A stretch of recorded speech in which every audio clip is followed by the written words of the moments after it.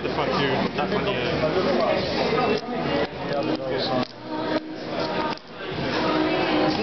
Do front as well.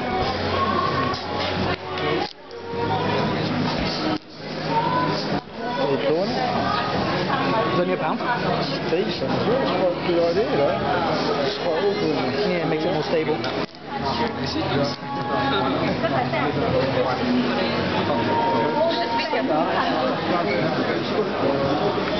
Thank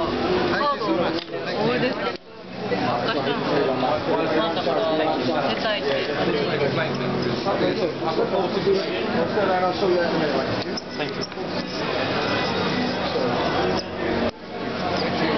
Uh, Flag, come here. Thank you.